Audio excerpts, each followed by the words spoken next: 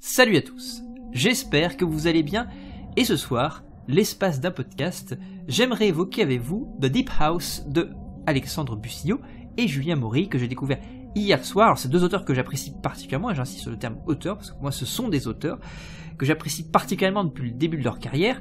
Quand bien même c'est une carrière un petit peu bancale avec des films qui sont pas toujours réussis, euh, mais avec eux, parce que je trouve que leur cinéma est profondément sincère, honnête, euh, attachant, j'ai toujours tendance à voir le verre à moitié plein plutôt qu'à moitié vide.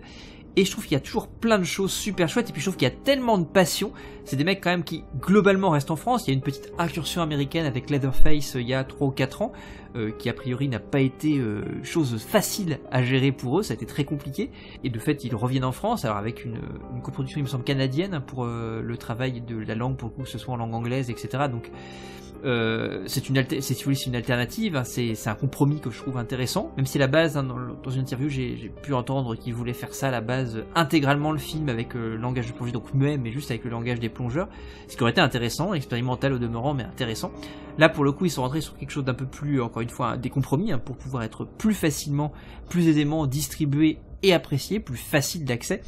Et je trouve que le film, pour le coup, vaut vraiment, a vraiment beaucoup d'intérêt. Et euh, j'aimerais revenir un petit peu dessus, un petit peu en détail sur ce que j'ai apprécié. Peut-être ce que j'ai un petit peu moins apprécié, mais globalement, j'ai passé un super moment. Euh, donc je vais un petit peu développer ça. Mais avant tout, j'aimerais revenir un petit peu sur l'amour vraiment que j'éprouve pour la carrière de ces deux auteurs, que je trouve juste passionnant, parce qu'il y en a très peu en fait qui restent fondamentalement en France en fait. Et eux, ils ont cette, cet amour, cette passion qui est de faire du cinéma d'horreur français en France, et de rester vraiment dans le coin, et d'essayer de développer ça, parce qu'on sait que le cinéma de genre en France c'est compliqué, mais eux, ils restent et ils se battent. Et ça, je trouve ça super. Super et nécessaire, hein, parce qu'il en faut, que c'est jamais très très bien vu. Le, c'est pas que le cinéma de genre est mal lu en France, c'est que le cinéma de genre français est souvent euh, peu enclin à déplacer les foules. Parce que fondamentalement, il y a des petits budgets, comme il y a des petits budgets, c'est un cercle vicieux. Hein. Le, comme c'est cinéma de genre et qu'il faut poser un univers, bah, c'est compliqué si on a un petit budget. Donc les gens vont voir, vont trouver ça cheap et donc fondamentalement, on va, le film va pas marcher. Donc s'il ne marche pas et qu'il ne rapporte pas d'argent, bah, on va pas injecter plus d'argent. En injectant pas plus d'argent, on continue à faire des tout petits budgets. Les gens ne se déplacent plus parce qu'ils ont peur que ce soit cheap comme d'habitude et que le cinéma de genre français pour eux ça ne fonctionne pas. Bref, c'est un cercle vicieux. Mais ces deux mecs-là, hein, Alexandre Bustillo et Julien Maury, se battent. Et ça, je trouve ça génial parce que quand on voit la gueule de leur des films donc de Deep House, ça a quand même une sacrée gueule. Et ça défonce visuellement, donc je vais y revenir. Tout d'abord, je veux revenir sur leur, leur et ce qui me plaît, euh, je vais vite faire un petit, un tour d'horizon un peu de leur film. Ils réalisé donc à l'intérieur dans un premier temps, qui était un slasher, euh, hommage donc au slasher dans sa globalité, mais au slasher transalpin aussi, puisqu'il y a tout une, un, hommage gialesque, si je puis dire, dedans, qui était vachement intéressant, alors qui était un film assez bancal, évidemment il y avait plein de problèmes, c'est un premier film, ils ont eu envie certainement de mettre des tas de trucs dedans par passion, peut-être parce que ça aurait été euh, leur seule opportunité de le faire, donc ils ont tout mis dedans. Moi je trouve le film vraiment chouette, c'est ultra gore, ça va très loin, et bon, rien que ça, ça me fait kiffer de toute façon. Après, il y avait plein de problèmes euh, inhérents justement à la mise en scène, à la production design. Mais, mais globalement, dessus, des effets spéciaux qui n'étaient pas terminés. Enfin, il y a plein de trucs qui fonctionnaient pas. Mais il y avait quelque chose. Il y avait déjà une patte, moi je trouve, parce que au-delà du côté ultra référentiel, c'est des mecs qui ont une. Moi je trouve qu'il y a une approche de la poésie macabre que je trouve assez dingue, notamment, le, le plan de fin de l'intérieur que je trouvais assez, assez malaisant, dur, bizarre, malsain, et, j'adore ça en fait. Je trouve qu'ils avaient déjà trouvé quelque chose, c'est un truc que j'avais pas vu ailleurs. Second film de Bustillo et Mori, euh, si je me trompe pas, hein, c'est Aux yeux des vivants, qui est pareil, un, film qui est entre les Goonies et Massacre à la Massacre à la je pense que c'est quelque chose d'important pour eux. Alors, cette constance, qui est euh, l'hommage graphique à Massacre à la c'est quand même très très très récurrent et je trouve que Aux yeux des vivants est particulièrement fort euh, dans ce sens-là, vraiment dans ce sens-là. Et ce que j'aime beaucoup aussi qui apparaissait dans Aux yeux des vivants, euh, c'était cet amour du cinéma de genre sans poser d'échelle de valeur. C'est-à-dire qu'il pouvait autant citer du bis que du Z, que des films beaucoup plus nobles, nobles entre guillemets, un plus noble entre guillemets, bien sûr. Mais justement, parce que eux, pour eux, je pense qu'il n'y a, pas d'échelle de valeur, encore une fois, donc il n'y a pas plus noble qu'autre, mais qu'autre chose. Mais ce que je trouve génial, c'est qu'ils citent justement sans s'embarquer à essayer de créer, encore une fois, une échelle de valeur. C'est juste, ils citent ce qui leur plaît, ce qu'ils aiment, ce qui les passionne. Et aux yeux vivants, c'était ça, c'était une sorte de, cocktail, de patchwork de plein de trucs. Alors parce que c'est un patchwork, c'était problématique parfois, parce qu'il n'y avait pas forcément de lien dans tout ça, c'était un peu bordélique, un peu foutraque, mais en même temps, il y avait, il y avait toujours eu cette vraie ambiance, cette vraie approche de la poésie macabre, encore une fois, que moi je vois pas ailleurs, en fait, que je vois vraiment dans leur cinéma, qui est propre à leur cinéma. Et puis il y a ce travail, encore une fois, de, d'amour, de déclaration d'amour, de profession de foi continuelle au cinéma de genre, qui était très présente dans ce film-là, et puis le fait de l'inclure encore une fois dans un contexte français. Chez ces mecs-là, il n'y a pas d'un travail de cinéma de genre qui irait euh, imiter le cinéma américain. Non, ils vont travailler sur le cinéma français pur, c'est dans un cadre français, même si effectivement il y a des emprunts au film américain, indéniablement, mais c'est vraiment encore une fois ancré dans quelque chose de très français. Et ça, je trouve ça intéressant, sans pour autant jouer la carte du film français et avoir une sorte soit d'une rationalisation, soit le fait d'essayer de gommer ou de ne pas oser aller dans le pur genre, ce sont de purs films de genre, ce sont de pures séries B qui n'ont pas peur d'aller dans ça. Là où effectivement tout ce qu'on voit actuellement en cinéma de genre, je pense à Teddy parce que moi j'ai pas beaucoup apprécié Teddy fondamentalement, bascule quand même dans le côté euh, film d'auteur avec des incursions horrifiques. Là, chez, chez et Maury, il n'y a pas du tout cette approche cinéma d'auteur français en fait cinéma intello, cinéma bobo qui se la touche. Non, c'est toujours viscéral et profondément du cinéma de genre qui rentre dans ses codes narratifs, dans ses, euh, si vous voulez, c'est l'élément parfois les plus bis, mais il va à fond dedans. Et ça, j'adore ce truc-là, parce que ça ne renie pas ce côté cinéma de genre. Ça fait du cinéma de genre, parce que ça veut faire du cinéma de genre. Parfois, effectivement, ça se loupe, ça se prend des murs, mais c'est pas grave. Ça va à fond dans le truc, ça essaie des choses, et ça, je trouve ça génial, parce qu'encore une fois, il y a toujours cette passion, cette profession de foi qui est présente. Livide était un petit peu dans ce même ordre d'idée qu'un film que j'aime beaucoup, et là pour le coup il creuse beaucoup plus le côté poésie macabre. Habitant en Bretagne, en plus ce film a été tourné à Bénodet, donc je trouve ça en plus que là pour le coup il y a ce côté vraiment aussi très terroir français, je trouve que le cadre breton bah, il est top pour ça. Mais, je trouve que justement, c'est des mecs qui sont intéressants aussi parce que, mine de rien, c'est important qu'on se rende compte en France qu'on a des lieux pour faire du cinéma de genre. Et ces deux mecs-là, Bustier Maurice, c'est qu'ils comprennent justement qu'il faut travailler, que la France, c'est un fabuleux endroit pour travailler, en fait, le cinéma de genre, pour travailler du fantastique, pour travailler de l'horreur. C'est parfaitement le cas, je trouve, dans, ce qu'ils fait, par exemple, dans ce font dans, dans Livide, c'est que ça s'intéresse justement à la Bretagne comme lieu espace du fantastique fondamentalement et c'est merveilleusement bien fait. Alors pareil, c'est un film de vampire extrêmement bancal sur plein de points, qui a plein de problèmes encore une fois.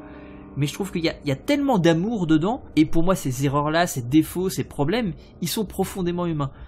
Un film parfait, si vous voulez, ça n'existe pas déjà, mais ça justement, ça, ça trahirait ce côté humain. Là, là, il y a vraiment quelque chose de fondamentalement humain qui ressort. Il y a des faiblesses, mais il y a une envie de faire les choses, de faire quelque chose de, encore une fois, qui déborde d'amour et de passion. Et ça, je trouve ça génial. Et vite, c'était pour moi un truc qui me plaisait beaucoup. Avec toujours cette approche que j'aime bien chez eux, qui est du gore, qui va à fond les bananes dans le gore. Et ça, c'est très plaisant, qui est un gore très jouissif, très généreux. Et puis, encore une fois, ces côtés hommage graphique à Massacre à tronçonneuse, ils sont toujours là. Hein. notamment quand on, découvre dans Massacre à tronçonneuse de Hooper en 73 la maison, 74 pardon, euh, la maison euh, de, de et de sa famille il y a tous ces crânes d'animaux partout éparpillés, ce côté redneck qui est là, qui est présent, bah, chez Buscemi, il y a toujours ça. Et je trouve que justement, évidemment, cette, cet amour pour Massacre à c'est toujours là, cette, pour moi, c'est un, un trope chez eux qui est quand même très, qui est vraiment très très ancré. Évidemment, on l'a retrouvé dans leur, le film suivant, donc qui est leur film américain qu'ils ont tourné aux États-Unis. Je crois qu'il me semble qu'ils avaient eu aussi, on leur avait proposé le remake, euh, enfin un remake ou un reboot de, ce qui aurait été vachement intéressant par eux, je pense, euh, de Hellraiser. Euh, mais pour le coup, ils ont été tournés donc Leatherface, qui était un préquel au euh, Massacre à de Hooper, hein, pour le coup, puisqu'il n'était pas en lien avec la timeline de Marcus Nispel avec le remake euh, qui avait été fait par, produit par Platinum Dunes, donc par Michael Bay, donc qui était un préquel au film de, Toby Hooper, qui est un film pareil très bancal. Alors évidemment, qu'on sent, je pense, qu'il a été fait dans la souffrance, hein, parce que ils ont des tas de problèmes avec la prod, le film a été massacré, remonté, ça a été une horreur pour eux, ça a été un cauchemar. Mais et puis il y a eu des coupes dans le budget aussi. Mais ce qui, moi, me plaît énormément dans le film, c'est pareil, je le trouve hyper généreux. Et on sent encore une fois tout leur amour pour cet univers-là.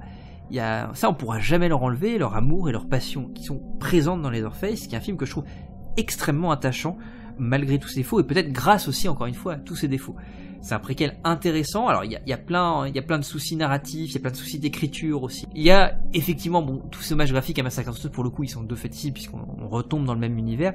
Mais c'est intéressant puisque maintenant euh, une fois qu'on voit ce film-là, on peut pour le coup a posteriori remonter sur ce qu'il y avait avant et se rendre compte que finalement c'est parfaitement cohérent avec tout le reste. Mais c'est un film voilà que je trouve euh, indéniablement extrêmement touchant, notamment sur l'approche qu'ils ont du personnage de Leatherface, qui je trouve vraiment encore une fois très, il y a, y quand même beaucoup d'amour pour ce personnage-là qui, est vraiment mis en avant dans le film, qui est vraiment travaillé, et euh, je trouve pour moi que ça reste un très beau film, raté encore une fois, mais euh, pour lequel j'ai aussi énormément d'affection. Donc venons-en à The Deep House, donc que j'ai découvert très récemment, qui est fondamentalement un film de maison hantée sous l'eau, c'est un high concept, hein, c'est évident, mais un concept très fort, très intéressant, parce qu'il y, a beaucoup de choses, moi, qui m'ont vraiment touché. Alors, Scénaristiquement, on est sur un truc extrêmement simple. On va suivre donc un couple qui fait de l'urbex, qui a une chaîne YouTube, et qui vont, euh, qui viennent donc en France pour visiter un endroit. Alors le spot qu'ils ont finalement ne leur plaît pas parce que c'est un spot très touristique et ils vont être embarqués par un, autochtone français qui va les amener dans un lieu, euh, soi-disant, beaucoup moins euh, touristique et surtout extrêmement impressionnant. C'est une maison qui a été engloutie. Ils vont se lancer tous les deux en plongée donc pour aller découvrir et visiter cette maison, le tout étant filmé. Donc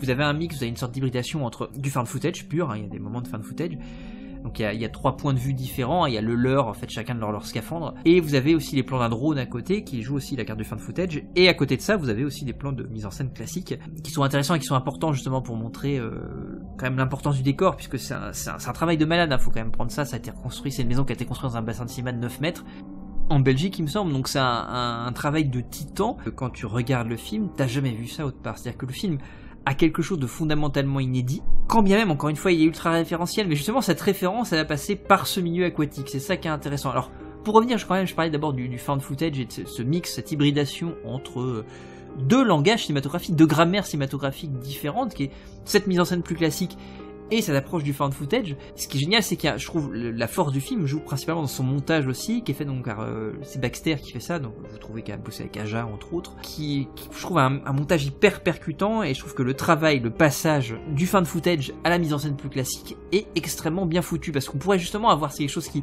qui va couper l'immersion parce qu'on sort de ce point de vue interne, de cette focalisation interne fondamentalement pour revenir à, quelque chose de, plus, de plus général, à la troisième personne hein, fondamentalement. Et ben là, ce que je trouve génial et qui fonctionne à mort, c'est que tout est extrêmement bien imbriqué en fait. Et en plus, tout ça est articulé de manière extrêmement percutante et pertinente. Et ça, ça fait vraiment un truc assez génial qui fait que l'immersion dans le film est absolument totale. Alors pour revenir de fait au scénario, évidemment que le scénario est extrêmement simple. Moi je le prends pas comme étant un scénario simpliste, il est juste simple. Il est efficace, c'est une exploration, c'est un film de hantise, c'est un film de maison hantée. Certes, les personnages, on peut les trouver assez archétypales. Moi, je les trouve pas clichés, je les trouve archétypaux. Les acteurs sont très bien, les deux acteurs s'en sortent très très bien. Toujours est-il, voilà, que le, scénario, certes, est simple, mais je trouve redoutablement efficace. En fait, il raconte ce qu'il a raconté de manière, si vous voulez, très linéaire, euh, efficace, assez radicale, parce que moi, j'aime beaucoup la fin et je trouve que la fin est très belle. Il y a un magnifique plan à la fin. D'ailleurs, je trouve aussi, c'est ce qui m'a été au passage souligné par Rachel euh, aussi, c'est que le, générique est très très beau aussi. Donc finalement, on est dans du fan footage, certes, mais là où fan footage parfois a tendance à être un peu dégueulasse dans la mise en scène, fait ça un peu à l'arrache, là il y a beaucoup de soins qui est apporté même à cette partie fan footage. Et ça je trouve ça chouette. Même s'il y a des moments, t'as la caméra qui part un peu dans tous les sens, tu vois pas trop ce qui se passe, c'est toujours bien amené en fait, c'est des moments où les personnages paniquent, donc fondamentalement ça paraît assez logique. Souvent dans fan footage, c'est des films font pas beaucoup de thunes, et là pour le coup le film a pas non, plus un, budget fou, hein. ça reste un petit film. Je crois que c'est un peu plus important que ce qu'il y avait eu précédemment évidemment, mais mais ça reste un petit, un petit budget. Dans les fan footage en général, quand t'as pas beaucoup de thunes, que tu peux pas montrer ton monstre ou ta menace fantastique, bah tu gigotes ta caméra parce que t'as peur fondamentalement, tu la gigotes dans tous les sens, on voit deux trois trucs qui... Voilà. Là, les rares fois où la caméra part vraiment dans tous les sens, c'est assez bien amené parce que c'est sur un moment de panique du personnage et le reste du temps c'est quand même assez stable. Donc c'est quand même assez agréable à regarder. Alors il y, a plein de choses justement qui sont inhérentes pour revenir à cette idée de l'eau que je trouve vraiment chouette et qui justement vous ramener à cette idée de poésie macabre que je posais en, introduction. Le fait que la maison soit sous l'eau, il y a plein de plans qui sont juste magnifiques. Alors encore une fois comme je vous disais c'est vraiment un truc assez inédit, moi j'ai jamais vu autre part. Encore une fois les décors sont référentiels, il y a du référentiel à Massacre à la pour moi c'est évident. Sur plein de points on retrouve évidemment... Euh, toute cette question qu'on trouve aussi très souvent chez eux, qui avait beaucoup dans Livide avec les poupées, les masques aussi qui sont importants, euh, qu'on avait aussi dans Livide. Il y a ce côté aussi des, des, cadres, des comment des décors un peu un peu déliquescents, pourrissants. Là où le cinéma d'horreur a tendance à être extrêmement lisse actuellement, on a tendance à enlever toutes ces couches pour que ce soit très lisse, très propre. Là, on est dans quelque chose de fondamentalement assez crade, assez déliquescent, assez dans la pourriture. et ça, je trouve ça. J'aime beaucoup les décors qui, je trouve justement, dégagent une sorte de poésie macabre, morbide, crade, déliquescente, qui moi me plaît vraiment beaucoup dans un film de maison. Là où moi j'aime bien les Conjuring, je dis les deux premiers, j'ai pas du tout aimé le troisième, mais ça reste des films quand même très très lisses. Et moi, ce que j'aime dans ce cinéma-là, c'est chez Bussy et Mori en particulier, c'est qu'il y a toujours cette approche du, du crade, du texturé. Et ça, je trouve ça génial. Au-delà de ça, en plus, comme je disais sur l'eau, parce qu'il y a des plans magnifiques parce que l'eau fait flotter les objets et donc les objets sont tous en lévitation dans la maison et ça donne quelque chose de fantomatique, ça donne vie à des objets inanimés tout le temps en fait, avec l'onde de l'eau, avec le c'est génial, il y a ce passage dans le, salon il y a ces chandeliers qui volent, qui ramènent à une imagerie très classique hein, du cinéma fantastique, du cinéma d'épouvante. Euh, le travail aussi sur les... Ils arrivent dans une chambre, il y a une sorte de lit à baldaquin, et il y a ce, grand voile au-dessus du lit dans lequel va apparaître une silhouette. Et donc tous ces voiles qui sont, euh, on va dire, chahutés par l'eau, ont l'air d'être habités, ont l'air d'avoir encore une fois une vie propre, d'être vivants, d'avoir quelque chose qui les, qui sont, fait qu'ils sont doués de mouvement en fait. Quand il y a des créatures fantastiques qui vont advenir à un certain moment du film, ce qui est intéressant, c'est que euh, leurs mouvements euh, mis dans l'eau, mis dans ce cadre aquatique, euh, sont d'autant plus dérangeants, d'autant plus malsains, et quelque chose du fait qu'on n'a jamais vu ça, encore une fois dans l'approche, même si on a déjà vu des films avec des créatures fantomatiques sous l'eau évidemment, mais je trouve que la manière dont c'est traité, tout est fait de manière pratique, hein. il y a pas de numérique ou très peu. Donc comme tout est fait de manière pratique dans des vrais décors, tout ça, ça donne quelque chose encore une fois très viscéral. Et ça renforce encore une fois euh, l'immersion du spectateur. La hantise aquatique n'est pas juste un concept, il y, a, vraiment quelque chose qui joue dans tout l'univers qui est posé dans le...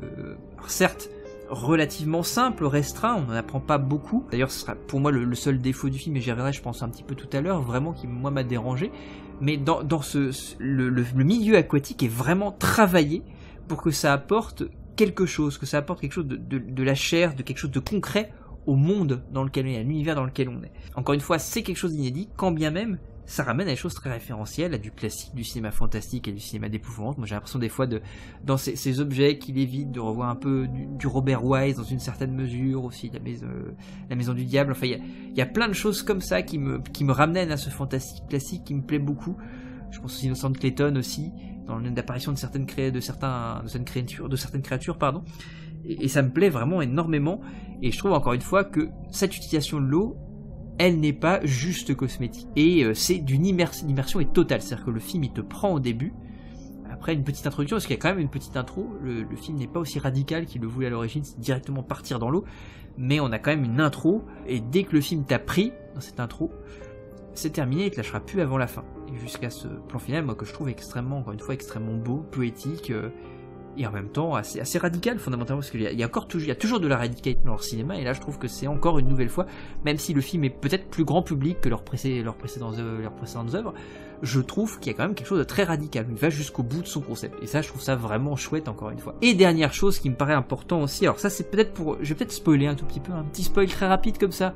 On se permet, donc vous pouvez quitter la vidéo maintenant. de Deep House, c'est très bien, vraiment, allez le voir.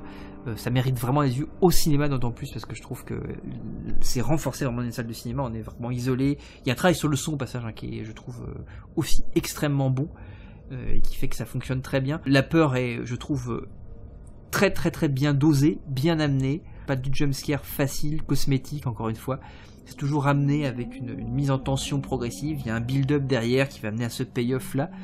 Et vraiment, quand il y a un jumpscare qui arrive de manière un petit peu soudaine comme ça, alors qu'on l'avait pas forcément prévu, qu'il n'y avait pas de montée, euh, c'est cohérent avec ce que ressentent les personnages. Ça va renforcer l'immersion parce qu'on se retrouve à ressentir ce que ressentent les personnages. Et bien sûr, c'est tout ça est renforcé, bien sûr, de manière exponentielle par le cadre, encore une fois, euh, sous-marin, qui est encore une fois très bien géré et qui est fait, euh, qui est pas utilisé encore une fois de manière cosmétique. Le seul petit défaut, donc petit spoiler pour la fin, juste le tout petit élément, moi je trouve peut-être que l'explication du mystère, la mythologie qui entoure cette maison, est peut-être un petit peu trop didactique et c'est un petit peu dommage. C'est-à-dire que c'est vraiment montré de manière très claire, très nette. Alors, ce que je trouve intelligent pour le coup, c'est comme c'est expliqué avec une projection d'un Super 8. Ça, je trouve ça chouette parce qu'ils l'ont amené ce truc-là. C'est-à-dire que le, Super 8 n'apparaît pas comme ça euh, de manière complètement random. Le Super 8 est amené pendant tout le film. C'est-à-dire que pendant tout le film, pendant toute l'exploration, on dit qu'il y a des Super 8 partout, on sait pas ce que c'est. L'arrivée de la projection du Super 8 à la fin n'apparaît pas comme un, comme un cheveu sur la soupe. C'est, moi, ça fonctionne, c'est cohérent. Ceci étant dit, c'est trop. Pour moi, l'explication est beaucoup trop directe, beaucoup trop claire. En fait, je pense qu'on aurait gagné en fait tous les éléments qui sont disséminés avant l'évocation de ce Super 8, la projection. En tant que tel, je trouve que ça en dit trop, beaucoup trop. Je trouve que ce qui aurait été intéressant, serait de c'était rester dans le flou parce que tous les éléments encore une qui étaient disséminés jusqu'alors euh, donnaient déjà des bribes en fait euh, diégétiques qui étaient intéressantes et à vous de reconstruire tout le truc en fait tout était là il y avait l'idée du rite satanique évidemment des enfants disparus euh, vous avez ce, passage aussi, on voit un arbre généalogique, on voit que la personne qui a amené le couple est un descendant de la famille de cette maison. Il y a la manière dont tous ces petits éléments intéressants avec l'accoutrement des, deux fantômes qui sont dans le sous-sol, etc. Avec ces, tout ce passage avec ces chaînes et ces crochets qui pour moi me indéniablement à Massacre à mais toute la maison avec, encore une fois, je parlais tout à l'heure de, ces crânes d'animaux squelettiques qu'on retrouve chez les Orpheus, notamment dans son, dans son petit cagibi au fond. Euh, c'est pour moi indéniablement il y a toujours ça qui est présent. Moi je trouve la fin un peu trop explicative, un peu trop didactique, il n'y avait pas forcément besoin d'en dire autant. C'est juste ce petit point qui me dérange, qui me dérange, ça vraiment entre guillemets, hein. c'est pas, pour moi c'est pas problématique, mais je trouve que ça en révèle un petit peu trop. Et ce, passage aurait très bien pu être écarté en fait. Je trouve que le, alors encore une fois c'est peut-être une dans une démarche d'être facile d'accès, d'avoir un truc un peut-être un peu plus grand public. Ça, je pourrais totalement le comprendre cette démarche-là. C'est certainement une démarche de compromis. Mais je trouve que voilà, sans cet élément-là, le film aurait été parfaitement compréhensible et je trouve que ça aurait bah, conservé le mystère qu'il y a jusqu'alors dans cette exploration en fait euh, sous-marine où on pouvait simplement jouer et se retrouver comme les personnages à simplement choper des indices et à partir de là construire notre propre histoire. Mais c'est rattrapé encore une fois par le final que moi je trouve superbe avec ces deux plans finaux qui sont euh, juste superbes avec cette remontée que je trouve magnifique et puis ce plan final sur le à l'extérieur, à la surface, euh, qui laisse vraiment une sorte de truc en suspens que je trouve superbe. Donc c'est un film que j'aime beaucoup, que j'aime vraiment vraiment beaucoup, et que je vous invite à découvrir en salle parce que c'est important. C'est un film qui mérite d'être vu. Il faut encourager ce type de film parce plus c'est des films qui sont encore une fois sincères, honnêtes et bien faits et c'est fondamentalement mérité. En plus c'est une prouesse technique, je trouve assez hallucinante. Donc allez voir The Deep House. On se revoit dans quelques semaines, hein. on se réécoute dans quelques temps euh, pour la suite de d'autres aventures filmiques, bien sûr. Je vous fais des gros bisous, je vous dis à très bientôt. Bonne soirée à tous, salut